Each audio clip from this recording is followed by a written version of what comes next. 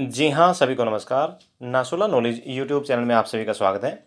दोस्तों, India current affairs का आज का हमारा पहला क्वेश्चन। हाल ही में नाडा के महानिदेशक कौन बने हैं? तो हाल ही में सिद्धार्थ सिंह नाडा के नए महानिदेशक बन चुके हैं। ओके, नाडा का मुख्यालय कहाँ पर है? न्यू दिल्ली में। और नाडा की स्थापना कब हुई? 24 नवंबर 2005 को। नेक्स्ट हाल ही में किसने छठा रायसेना संवाद का उद्घाटन किया है? तो ये किया है नरेंद्र मोदी जी ने। हाल ही में नरेंद्र मोदी जी के द्वारा छठा रायसेना संवाद का उद्घाटन किया गया है। अब ये रायसेना कहाँ है? जो अपना संसद भवन है, आप जानते ही अच्छी तरह पूरा रायसेना हिल्स के ऊपर बसा हुआ है। ओके, रायसेना डायलॉग के छठे संस्करण की थीम क्या रखी गई थी? इस बार इसके छठे संस्करण की थीम रखी गई थी, has viral world outbreaks. Outliers and out of controls. याद करना आपका काम है। ओके, नेक्स्ट, हाल ही में भारत के नए मुख्य चुनाव आयुक्त कौन बने हैं? सुशील चंद्रा। इस क्वेश्चन को हम रिपीटेड बैक टू बैक लेके आए हैं दोबारा। रीजन, याद करना। ओके, सुशील चंद्रा जी बन गए हैं। कौन से नंबर के? चौबीसवें नंबर के।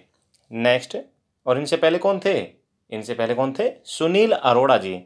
नेक्स्ट हाल ही में किस राज्य के मुख्यमंत्री ने मास्क अभियान शुरू किया है? तो मास्क अभियान ओडिशा के मुख्यमंत्री के द्वारा शुरू किया गया है। ओडिशा राजधानी क्या है? भुवनेश्वर। मुख्यमंत्री कौन है? नवीन पटनायक। और यहाँ के गवर्नर कौन है? गणेशी लाल।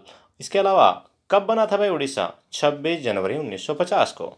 नेक्स्ट अंबेडकर जयंती हाल ही में 14 अप्रैल को मनाई गई। 2021 में यह कौन सी जयंती थी? दोस्तों, ये थी 130वीं जयंती। अंबेडकर जी की 130वीं जयंती।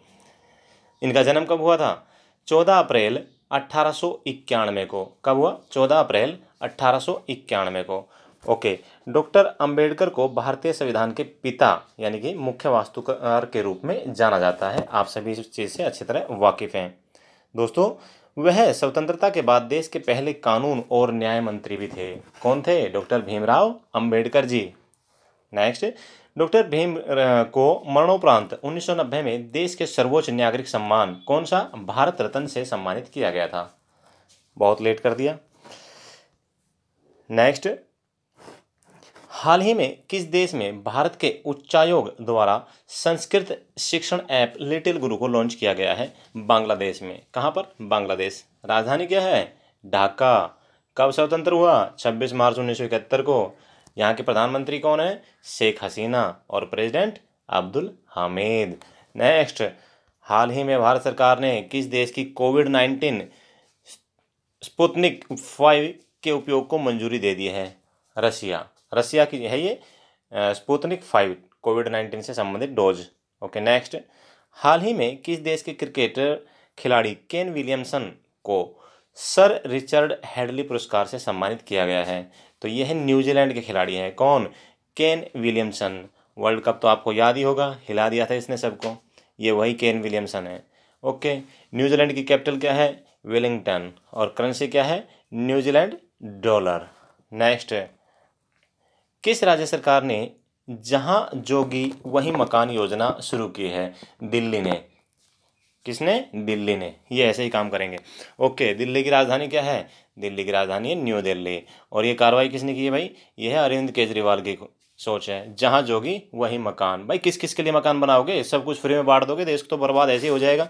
ठीक है? ओके, गवर्नर कौन है? अनिल बैजल। और कब दिल्ली?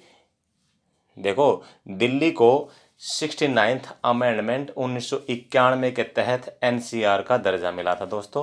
किसका? एनसीआर का दर्जा कब मिला? उन्नीस में। 1911 में दिल्ली को राजधानी बनाने की घोषणा हुई थी। 1912 में दिल्ली राजधानी बन गई थी और उन्नीस इक्यानवे में इसको राष्ट्रीय राजधानी क्षेत्र घोषित कर दिया गया था। नेक्स्ट। किस कंपनी ने नुआंस कम्युनिकेशन का अधिग्रहण कर लिया है? तो नुआंस कम्युनिकेशन का अधिग्रहण माइक्रोसॉफ्ट कंपनी ने किया है दोस्तों। माइक्रोसॉफ्ट कंपनी के सीईओ कौन है? सत्य नडेला। और हेडक्वार्टर कहाँ है? इसका हेडक्वार्टर है रेडमोंड वाशिंगटन यूनाइटेड स्टेट्स में। इसके अलावा माइक्रोसॉफ्ट की स्थापना कब हुई? चार अप्रैल उन्नीस को।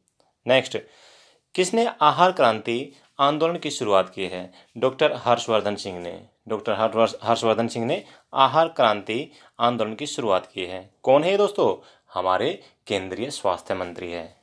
दोस्तों, यहाँ पर हमारा आज का करंट अफेयर समाप्त होता है। ओके थैंक यू जय हिंद, जय भारत, वंदे मातरम। आपका दिन शुभ रहे।